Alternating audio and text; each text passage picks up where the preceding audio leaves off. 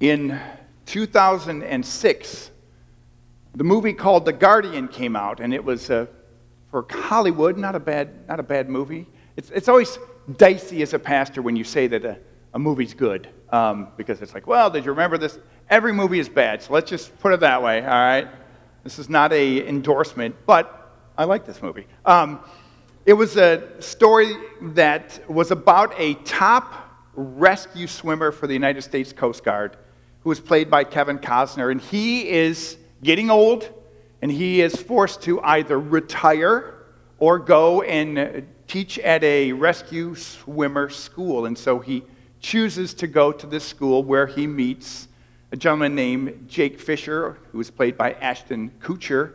And he is a top candidate of, uh, of this swim rescue school. He could have been a Ivy League swimmer. He was an outstanding swimmer, but he goes in, and I'm not going to give you all the details, but what happens at the end of the training is Kevin Costner asks his class two questions that are great questions, and I want to ask them to you, and I want to show you the video clip. Class 5506, will you come find me if I am lost? Yes, Chief! Will you come save me if I am drowning? Yes, Chief!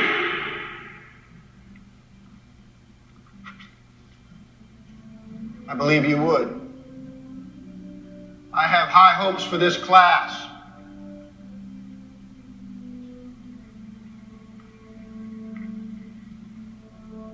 I have high hopes for you.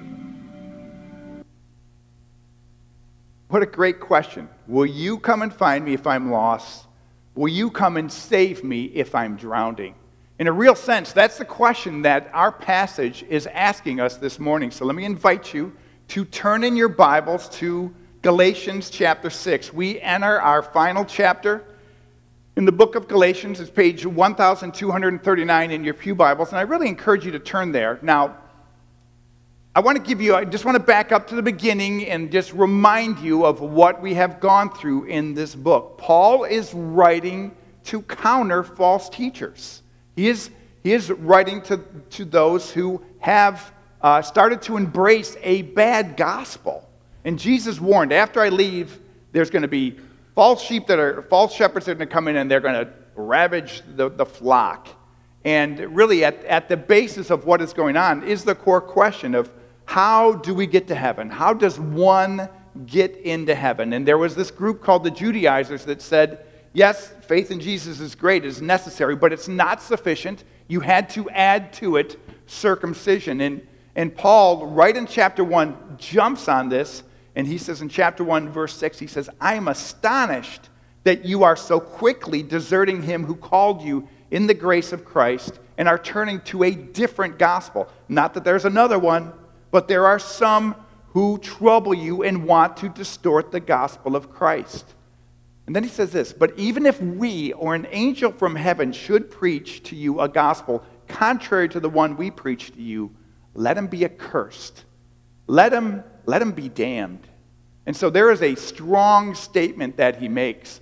And can I just say, there are false gospels that are being preached today, and really nothing, nothing has changed. And so really for four chapters, Paul makes his argument of why it is by faith alone in Christ alone that we have eternal life. And, and he talks about his background. And, and so, four chapters of that. And then he warns that after he tells everybody that there is freedom in Christ, that you are called to live free in Christ and, and to live godly, he also gives a warning. He says, Be careful be careful that you do not let your freedom become a license to sin. We, we do have to be careful of that. It's so easy to have a cheap grace to say, well, I'm forgiven. I can do whatever I want. And, and no, we can't. If, if you're a true believer, what are we called to do? And we looked at this. We're called to walk by the Spirit. We're called to walk in the power of the Holy Spirit. And so we spent a week talking about that. And then, just to make sure that we were clear, Paul had laid out what the works of the flesh are, and we spent a week talking about this. Now, the works of the flesh are evident sexual immorality, impurity, sensuality, idolatry, sorcery, enmity, strife, jealousy, fits of anger, rivalry, dissensions, divisions, envy, drunkenness, orgies, and things like these. I warn you, as I warned you before, that those who do such things will not inherit the kingdom of God. If you recall, when we preached that, had a great big pile of garbage over here, and we had a, we had a bag of garbage over here because that was the week when the Supreme Court made its decision. And, and the issue was sin is sin. And we, and we have to call it as it is. And that is, the, that is the works of the flesh. And they are quite evident.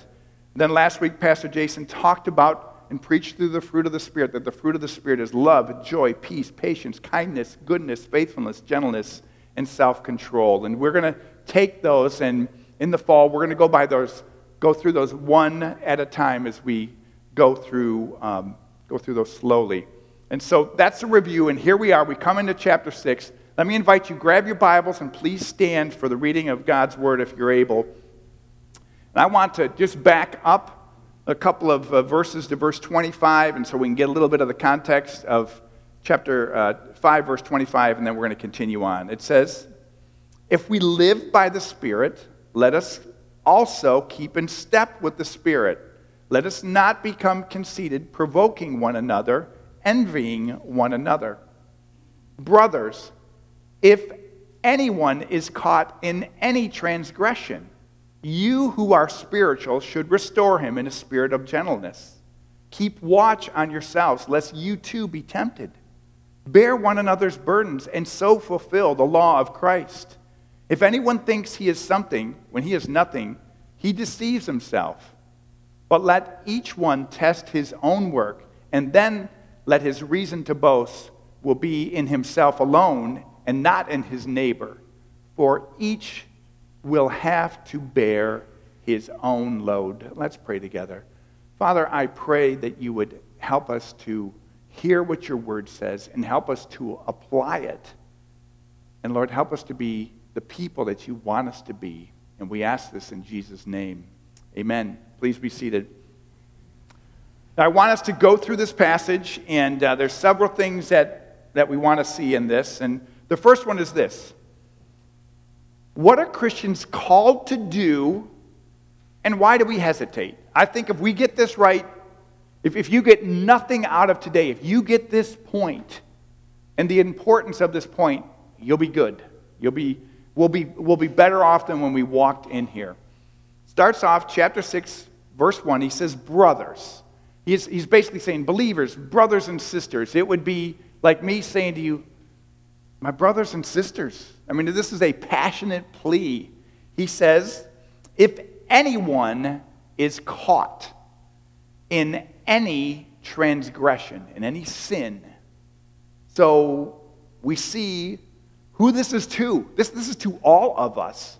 If anyone is caught, and that idea is you is snared in a snare of sin or caught in sin yourself, if anyone is caught in any transgression.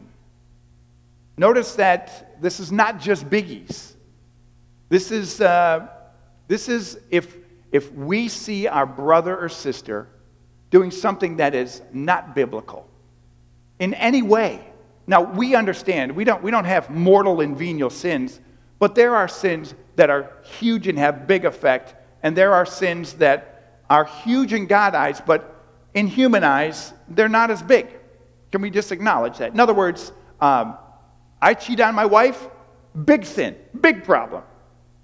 If I, uh, if I speed and disobey the law, hmm, compare the two.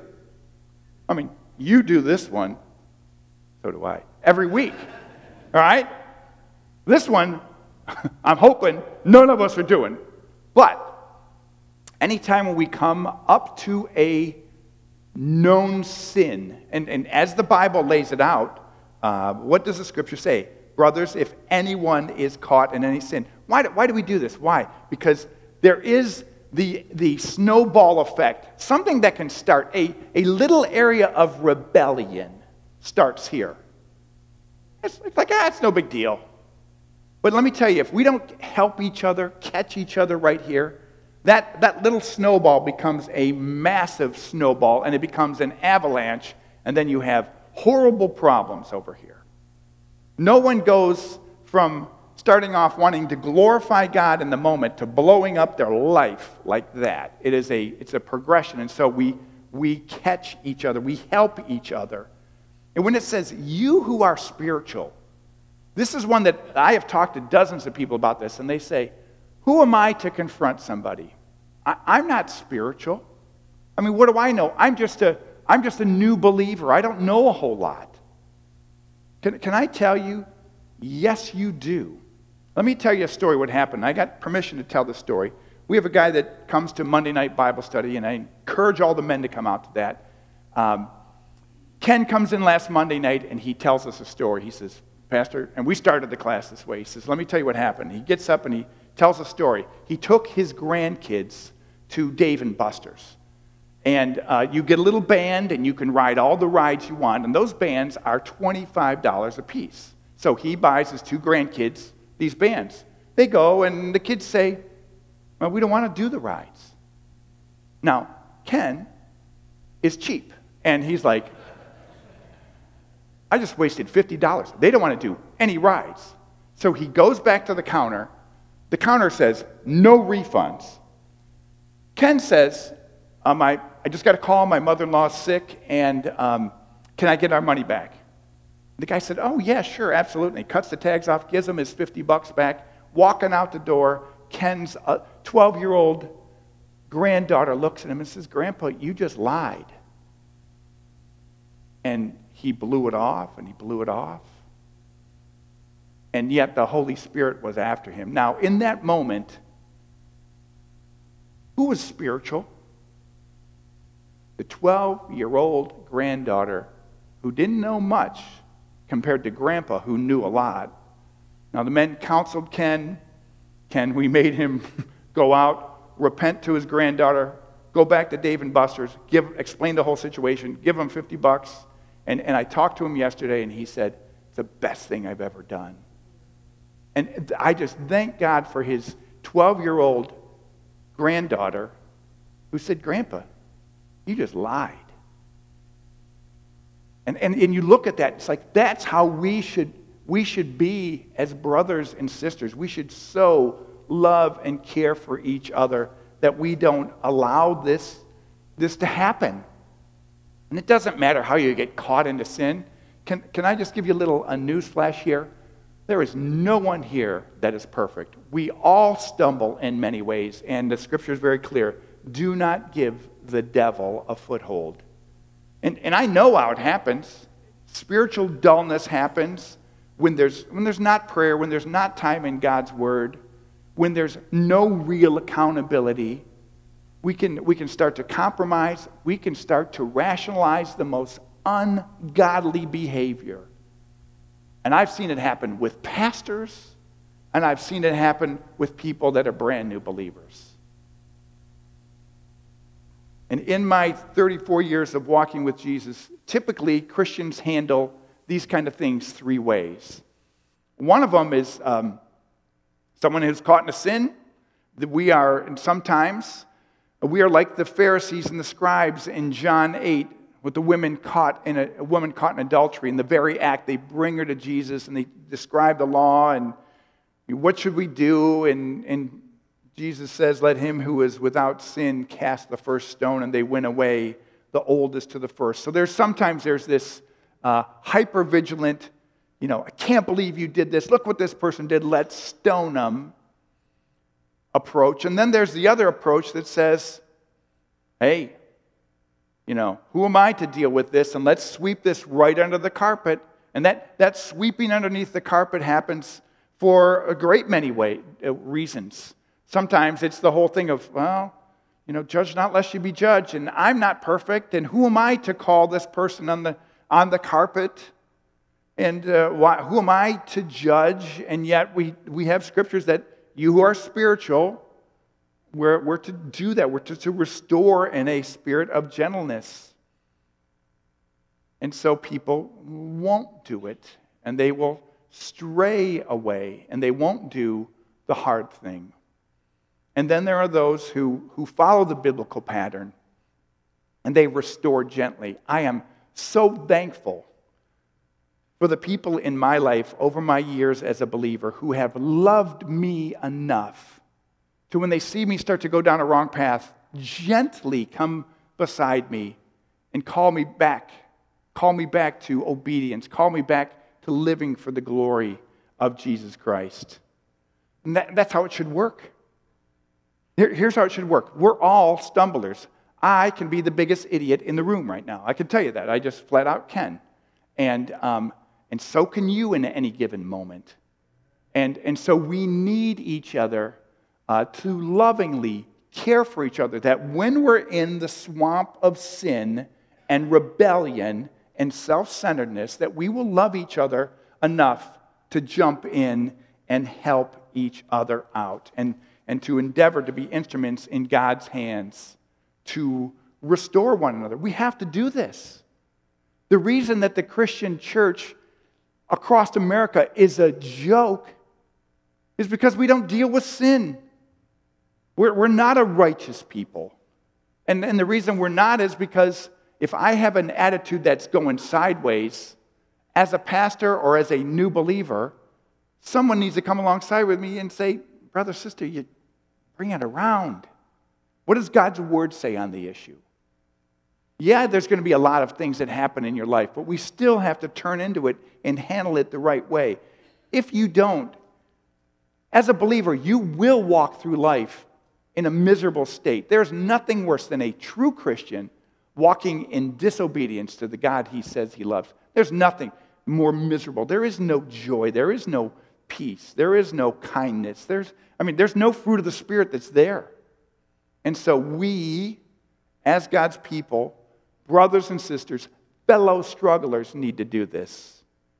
Now, second point what if they don't want it? What, what if they don't want or care to be rescued? This is tough. And by the way, I'm telling you right now, this is going to happen. There are people who are going to be drowning in their, in their sin and uh, self centeredness and, and you're going to go to want to rescue them, and uh, they don't want it. If you have ever taken a life saving course, they'll, they will teach you that if you're going to go save someone, that you have to be careful because people that are drowning often are thrashing in the water and they're going crazy. And if you come, come up to rescue them, they will, in their desperation, grab you and push you under so they could reach up and get air. And so you have to be very careful how you approach it. And so they'll say, you know, come behind them or, or send them something, give them, give them something for them to, to hold on to. But you have to be very careful. In, in the movie The Guardian, that was one of the tests where someone comes up and they grab, grab the person. And, and at the end, there's this one guy who finally has to pop the guy in the nose and get free in order to rescue him. Now, I wish, this sounds terrible, I wish I could jump in when someone's, you know, uh, swimming around the swamp of sin, smack them in the nose and drag them out. But you can't do that spiritually. I mean, that would be, wouldn't it be great though? It would be, it would be that easy. I mean, saving someone in the water is a piece of cake, kind of. I've never done it. But, um, but the principles are kind of cut and dry. Even if you got to knock the dude out, you get him out of there. You do what you can. And in, in a real sense, we as God's people, um, we have to love them enough to do the hard thing. But there will be times when people will say, Leave me alone. And Jesus has addressed this. In Matthew chapter 18, verses 15 through 17, is the process of church discipline, which we do here. Thankfully, we don't have to do it a lot, but here's what it says. In Matthew 18, it's in verse 15. If your brother sins against you, go and tell him his fault just between you and him alone. If he listens to you, you have gained your brother. If he refuses to listen, take two or three others along, that every matter may be established by the evidence of two or three witnesses. If he refuses to listen to them, tell it to the church. And if he refuses to listen even to the church, treat him as you would a, a, a Gentile or a tax collector. In 1 Corinthians, it talks about expel the wicked man from among you. And this is, this is hard to do, but this is the tough love that we need to do in James chapter 5, it says, My brothers, If anyone among you wanders from the truth and someone brings him back, let him who know that whoever brings back a sinner from the wandering will save his soul from death and will cover a multitude of sins. If you truly love someone, you will do what you can to rescue him. Are, are you going to let someone drown because you might lose their friendship? Really? I mean, and this is, this is where people will go, mm, but who am I to judge? And, and we will rationalize it away. And I'm just saying, we, we have to go all in. We have to love each other enough to do the hard thing. And, and often it is unloving. If you let me drown, if you let me drown and you say you love me and you don't confront me and you see me doing something that's not right, you don't love me. You don't love me. You love yourself. You love your little comfort. If, you, if you're not, you don't love me enough to come to me in love. Now, we're going to talk about how we come to people in a minute. But please tell me you're going to love me enough that if I'm drowning, you're going to come and rescue me. Even if I swing at you and I try to drown you. I mean, that's what family does. That's what we do. That's what the church is called to do. And here's newsflash, people. We're all going to be in that swamp every now and then self included.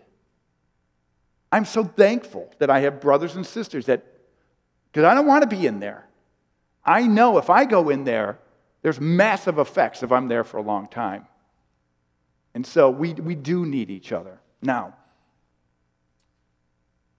God's rescue swimmers, and that's what you are, God's rescue swimmers, swimmers are given special warnings.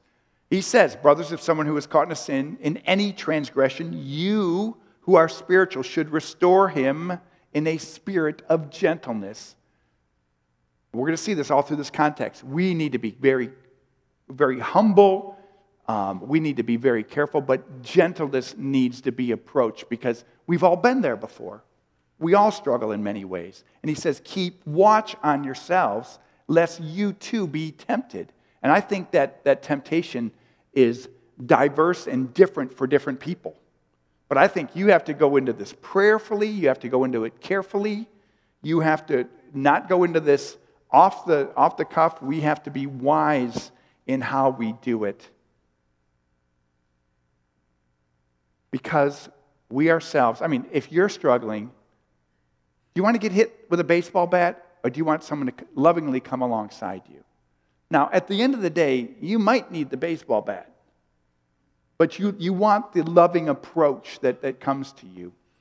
Verse 2, it says, Brother, or, or bear one another's burdens, and so fulfill the law of Christ. A, a Christian is a servant, and we are to help one another. And sometimes that help means that we help. It's easy to help someone. Oh, can I help you carry something? That's an easy one. Helping someone move, that's a little harder, but a lot of you will do that. Helping someone when they're in the swamp of sin, ooh, that's, that's Pastor Jason's job. That's Pastor Matt's job. That's, that's for the elders. I'll let them do that. I'm going to I'm going to stay out of that one. No, we carry each other's burdens and so fulfill the law of Christ, the principle of love.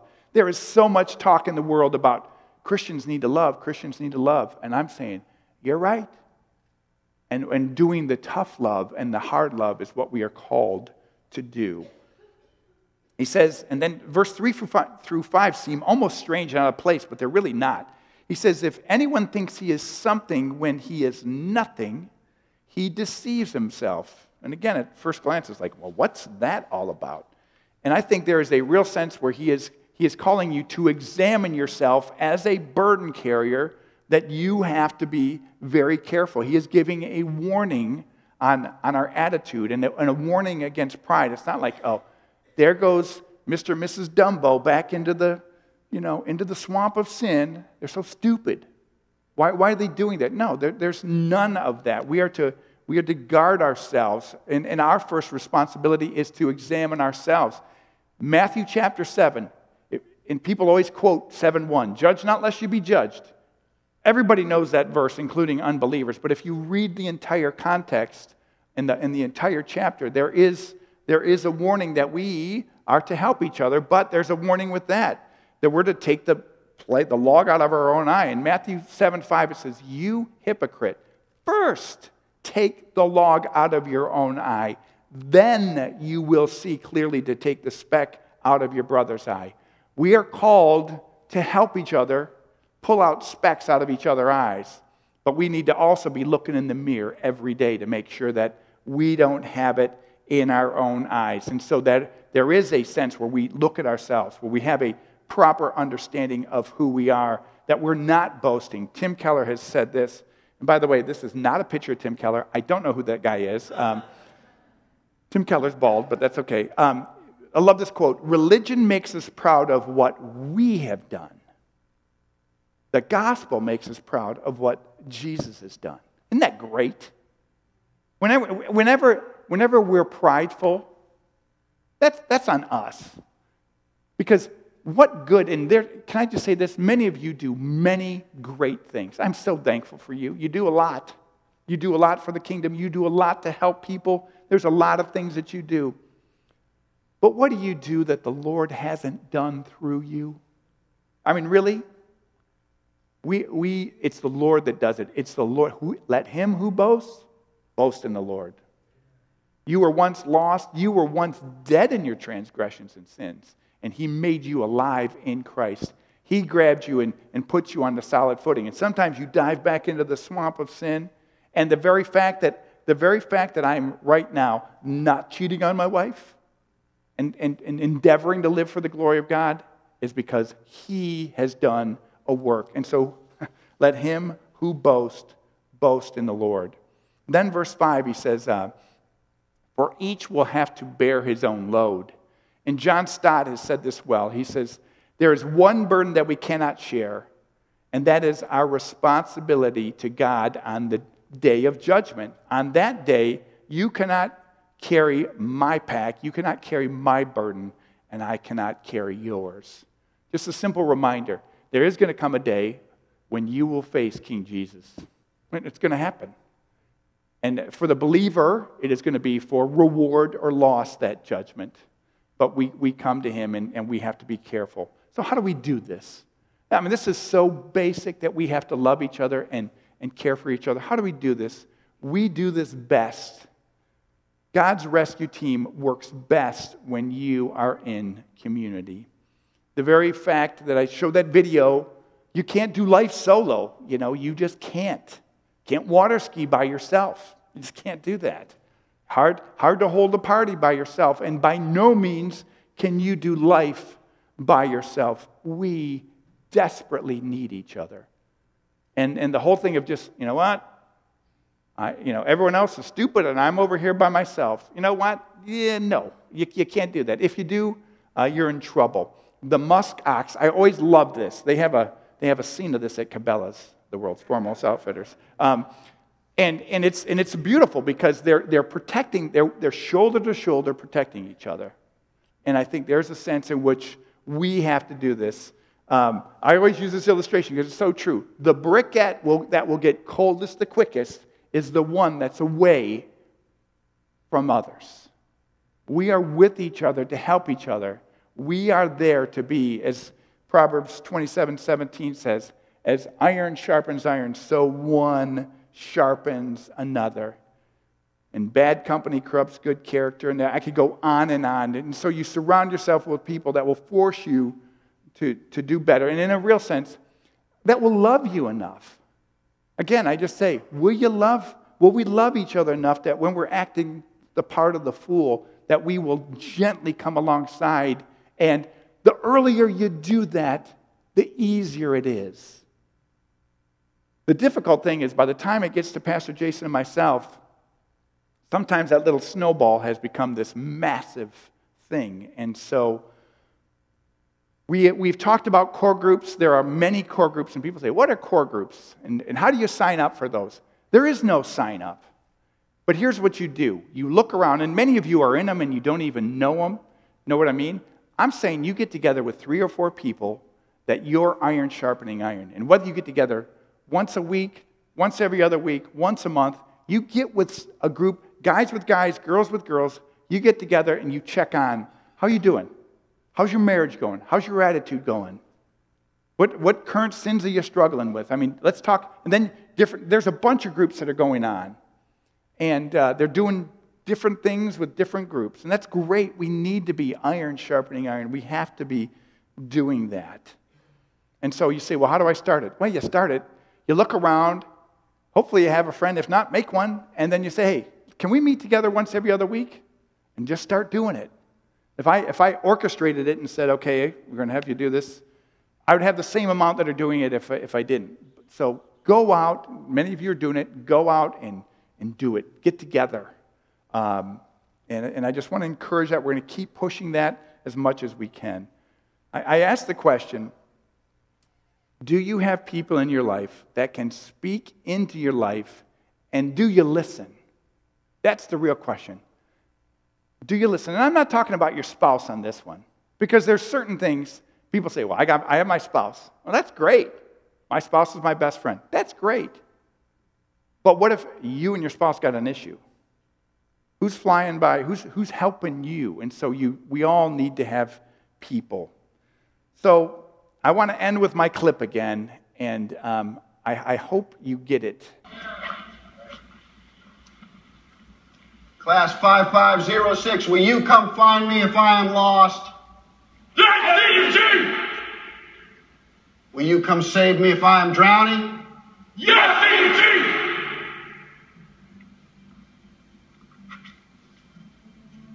I believe you would. I have high hopes for this class.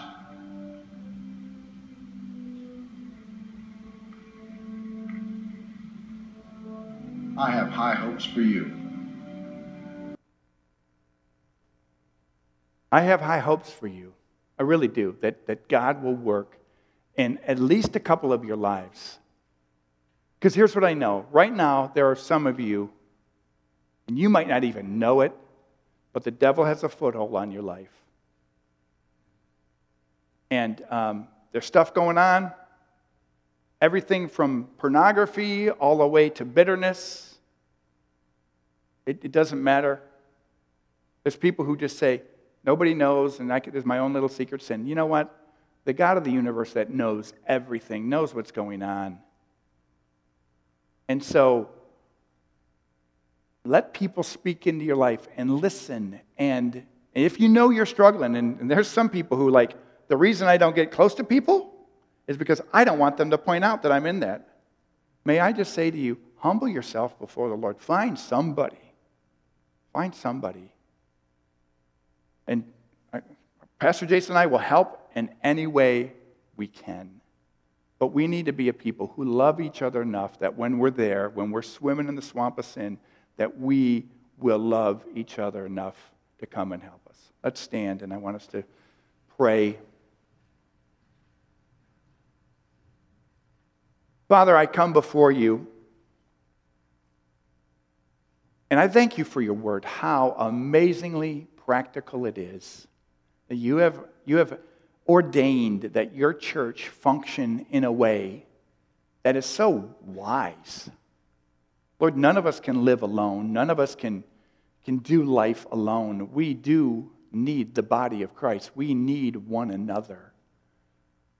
I pray right now for the person who is, who is drowning in the swamp of sin and disobedience and maybe doesn't care right now, I pray that you would cause a brother or sister to come around that person and reach out and, and love them enough to let them know that what they're doing is not right. Lord, that, that marriages would be made better and restored, that there would be um, freedom from bitterness, that addictions to different things would be dealt with so, Lord, do your work in our lives. Make us bold lovers of people, that we would care enough to care for people. So, Lord, do it, we pray. May we not uh, tolerate sin in our own lives, and may we love each other enough to, um, to care enough for people, and may we do it for your glory. Lord, only one life that we have will soon be passed, but only what we do for Jesus will last and help us to be in the center of your will. You're here today, and you know you're in that swamp of sin. You don't need to raise your hand, but will you just tell God and just cry out right now? Say, Help, Lord. In your, in your own heart, you don't need to say it out loud. Just say, Help. Father, you know every heart, and you know those that need help. And so uh, may, may we reach out and be your rescue swimmers. And may you do your work that you always do. We want to give you the glory. In Jesus' name, amen.